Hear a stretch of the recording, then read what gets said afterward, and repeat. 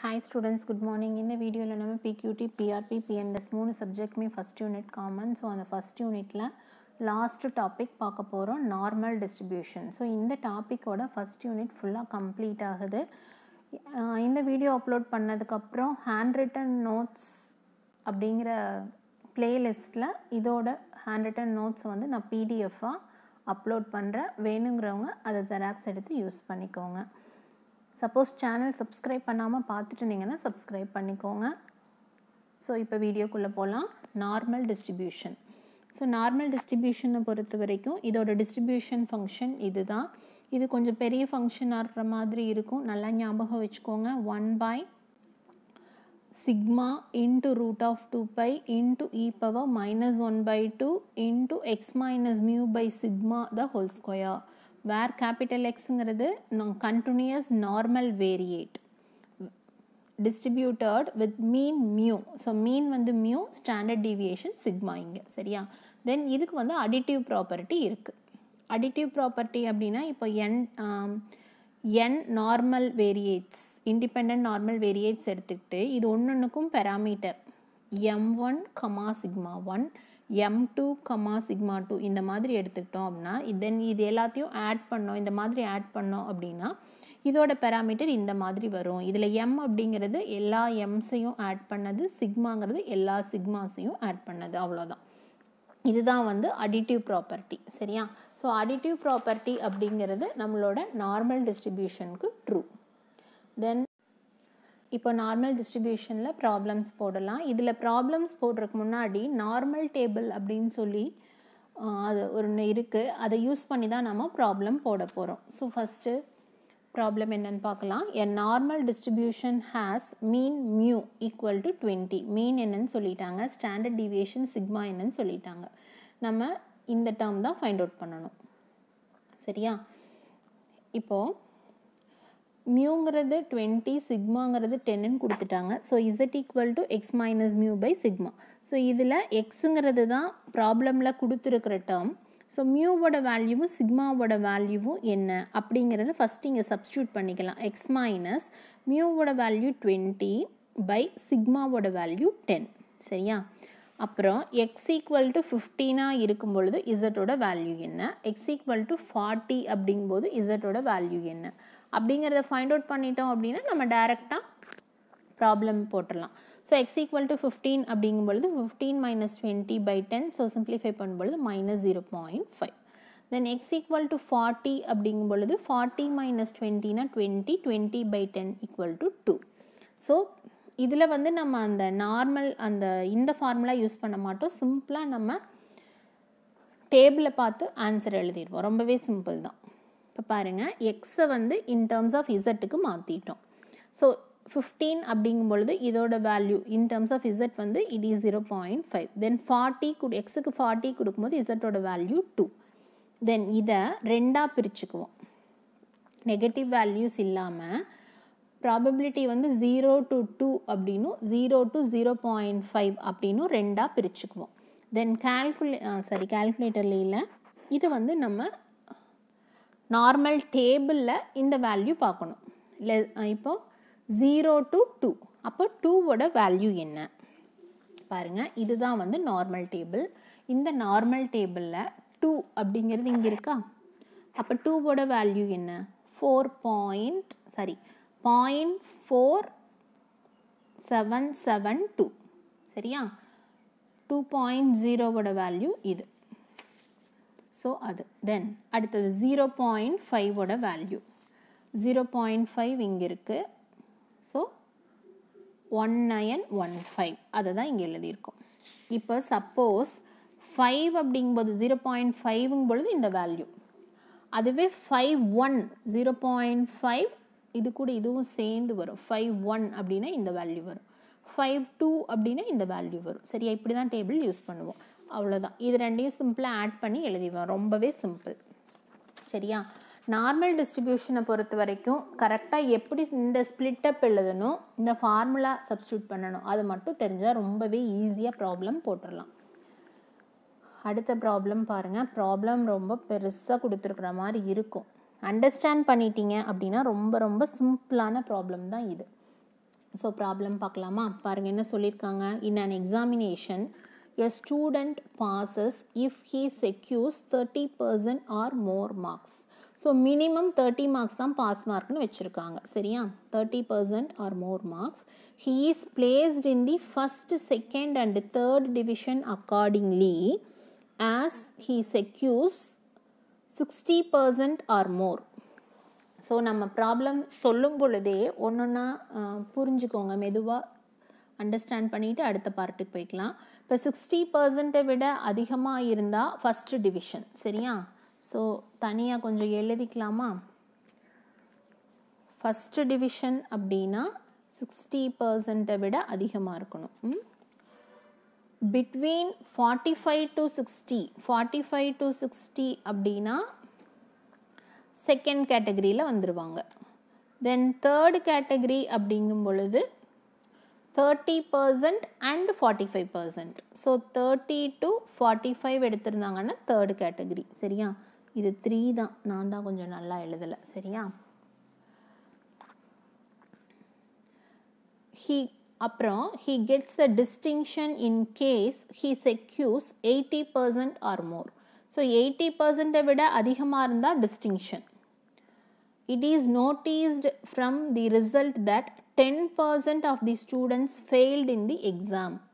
So ten பர்சன்ட்டுங்கிற ten percent of the students எக்ஸாமில் fail ஆயிடுறாங்க.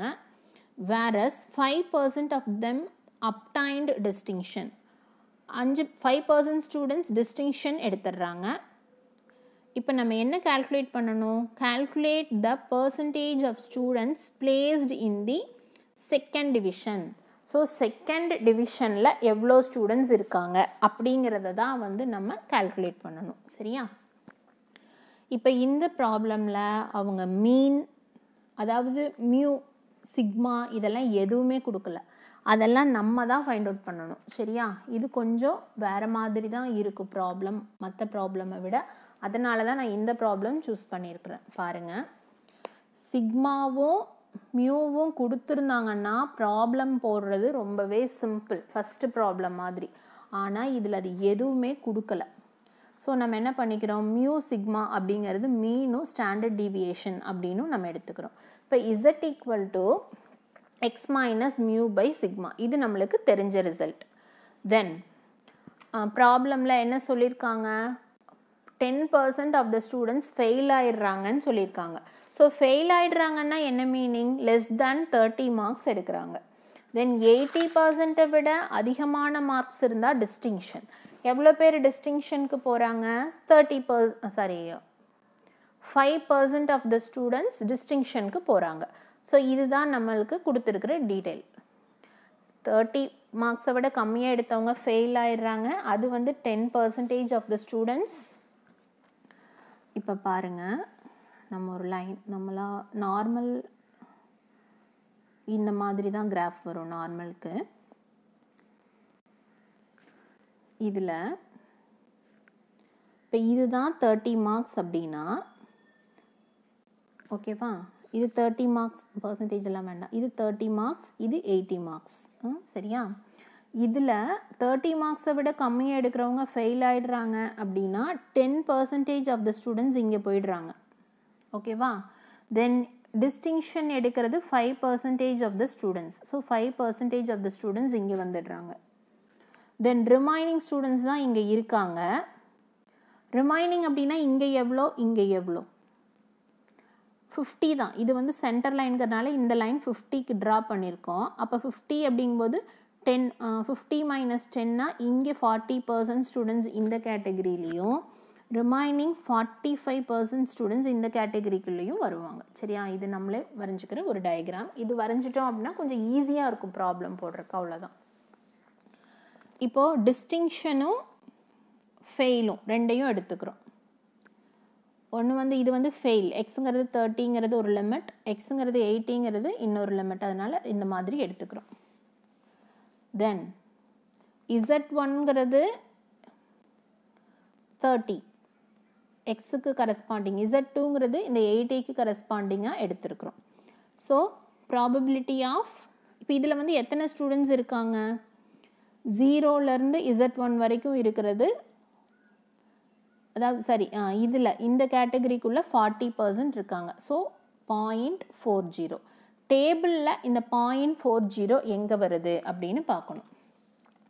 அதாவது இது வந்து எக்ஸோட வேல்யூ கொடுத்தா இசட்டோட வேல்யூ ஃபைண்ட் அவுட் பண்ணுவோம். நார்மலாக ப்ராப்ளமில் எக்ஸோட வேல்யூ கொடுத்து இசட்டோட வேல்யூ ஃபைண்ட் அவுட் பண்ணுவோம். நார்மலாக இதுதான் நடக்கும். ஆனால் இப்போ நம்மக்கிட்ட இசட்டோட வேல்யூ தான் இருக்குது நம்ம எக்ஸோட வேல்யூ ஃபைண்ட் அவுட் பண்ணணும். ஸோ டேபிளை நம்ம ரிவர்ஸாக யூஸ் பண்ணணும். நல்லா புரிஞ்சுக்கோங்க. டேபிளை ரிவர்ஸாக அப்படின்னா பாயிண்ட் ஃபோர் ஜீரோங்கிற வேல்யூ இங்கே எங்கே இருக்குது புரியுதா? டேபிளை ரிவர்ஸாக யூஸ் பண்ணுறோம் நார்மலாக பாயிண்ட் ஃபோர் ஜீரோ அப்படின்னா பாயிண்ட் ஃபோர் அதோட ஜீரோ அப்படின்னு இதை எடுத்துக்குவோம். எப்போ அப்படின்னா இசட்டோட வேல்யூ அப்படி இருக்கும் பொழுது. இப்போ நம்ம ப்ராப்ளமில் ரிவர்ஸாக இசட்டோட வேல்யூ தான் நம்மக்கிட்ட இருக்குது அதனால பாயிண்ட் ஃபோர் ஜீரோங்கிறது இங்கே எங்கே வருது அப்படின்னு பார்க்கணும். பாருங்க பாயிண்ட் ஃபோர் ஜீரோ இங்கே வருது. ஆனால் அதை விட சின்ன வேல்யூ தான் எடுத்துக்கணும். அதோட வேல்யூ எக்ஸீட் ஆகி போயிடக்கூடாது. அப்போ இது வந்து என்ன வேல்யூ பாருங்கள் இங்கே வந்து ஒன் பாயிண்ட் டூ இங்கே மேலே வந்து இங்கே மேலே point eight so one point two eight சரியா? இது வந்து இந்த ஃபிஃப்டிக்கு கம்மியாக இந்த சைடு இருக்கிறதுனால மைனஸ் சைன் போட்டுக்கிறோம். Minus one point two eight nearly then x minus mu by sigma எக்ஸோட வேல்யூ மட்டும் தேர்ட்டின்னு தெரியும். ஸோ இதுலேருந்து ஒரு ஈக்குவேஷன் ஃபார்ம் பண்ணி எழுதி வச்சுக்கோங்க. தென் அடுத்தது இசட் டூக்கு கரஸ்பாண்டிங்காக எயிட்டி அப்படின்னு இப்போ தானே இங்கே தானே எடுத்தோம். அதுதான். இந்த இதில் வந்து இந்த கேட்டகரியில் ஃபார்ட்டி ஃபைவ் பர்சன்ட் ஸ்டூடெண்ட்ஸ் இருக்காங்க. So point four five then again டேபிளில் தான் பாயிண்ட் ஃபோர் ஃபைவ் எங்கே வருது? பாருங்கள் ஃபோர் ஃபைவ் இங்கே வருது ஃபோர் ஃபைவ் ஆனால் இதை எடுக்க மாட்டோம். இதுக்கு முன்னாடி value so one point six இது ஒன் பாயிண்ட் சிக்ஸில் இது மேலே இருக்கிற ரோ என்னன்னு பாருங்கள் இந்த row one point six four சரியா? So eighty minus mu by sigma equal to one point six four அப்படின்னா இதை சிம்ப்ளிஃபை பண்ணி எழுதிக்கோங்க. இப்போ இது ஈக்குவேஷன் நம்பர் ஒன் இது ஈக்குவேஷன் நம்பர் டூ இதுலேருந்து இதை சப்ராக்ட் பண்ணுங்கள் சிம்பிளிஃபிகேஷன் தான். எதுக்காகனா சிக்மாவோட வேல்யூவும் மியூவோட வேல்யூவும் நம்மளுக்கு வேணும். So fifty equal to simplify பண்ணி நான் சிக்மாவோட வேல்யூ ஃபைண்ட் அவுட் பண்ணுறேன் தென் மியூவோட வேல்யூவும் எனக்கு கிடச்சிருது. இந்த சிம்பிளிஃபிகேஷன் எல்லாம் கொஞ்சம் பார்த்து நீங்களே ஒர்க் அவுட் பண்ணிக்கோங்க. தென் அடுத்தது சிம்பிளிஃபிகேஷன் முடிஞ்சுது. இப்போது x equal to forty five அப்படிங்கும் பொழுது இசட்டோட வேல்யூ என்ன? X equal to forty five அப்படின்னா x minus mu by sigma இருக்கு இல்லையா? அதில் தான் போட்டு போடுவோம். இப்போ இங்கே x minus mu by sigma அதை தான் யூஸ் பண்ண போகிறோம் x minus mu by sigma இப்போது எக்ஸோட வேல்யூ தான் இங்கே கொடுத்துருப்பாங்க. மியூவோட வேல்யூ நம்ம இதுக்கு முன்னாடி தானே ஃபைண்ட் அவுட் பண்ணணும்.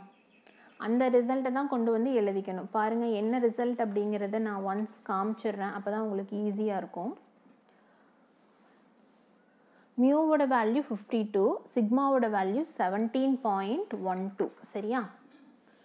ஸோ அதை தான் இங்கே போட போகிறோம்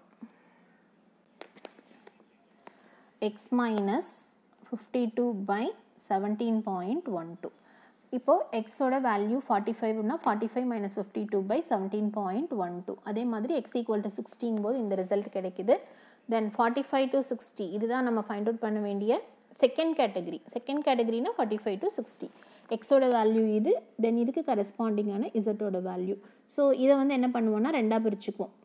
ஜீரோ டு ஃபார்ட்டி ஒன் அப்படின்னும் zero to zero point four one அப்படின்னும் zero to zero point four seven அப்படின்னும் பிரிச்சுக்குவோம்.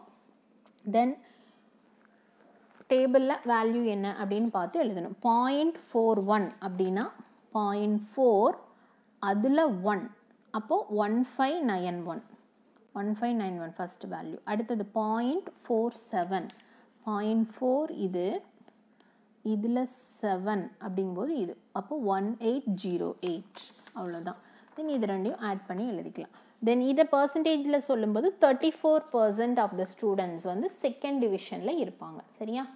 ஸ்டூடெண்ட்ஸ் இந்த வீடியோ பிடிச்சிருந்துச்சுன்னா லைக் பண்ணுங்கள் எதுவும் டவுட்ஸ் இருந்தால் கமெண்ட் செக்ஷனில் கேளுங்கள் உங்கள் ஃப்ரெண்ட்ஸ் கூட ஷேர் பண்ணிக்கோங்க. தேங்க்யூ